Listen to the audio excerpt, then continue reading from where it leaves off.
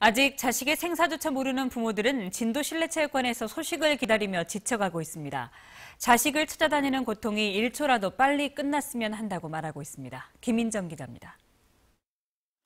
오늘은 소식이 있을까? 하루 종일 휴대폰을 손에서 놓지 못하고 배에 갇혀 있을 아이 사진을 보고 또 봅니다.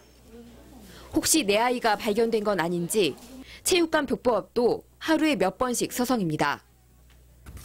일과가 뭔지도 모르는데 그래서 애만 찾아 나오기만 기다리지 체육관 복도 앞 창문엔 자원봉사자들이 준비한 휴지가 끼워져 있습니다. 눈물이 쏟아지는 가족들을 위해서입니다. 계속 울어요, 같이. 그러니까 뭐랄까 그들이 울면 저희들의 가슴도 같이 울리더라고요. 그 정도로 힘들어하더라고요. 수색 상황에만 온 신경을 쓰며 날마다 팽목한 임시 검안소와 실내 체육관을 오가다 보면 잠은 고사하고 끼니도 거르기 일쑤입니다. 건강도 급격히 악화되고 있습니다. 굉장히 많이 힘들어하시고 우울해하시고 불안해하시고 많이 화도 많이 나셨고 분노도 많이 느끼고 계십니다. 세월호가 가라앉으면서 일상이 멈춰버린 사람들.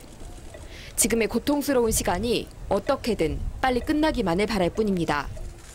MBC 뉴스 김인정입니다.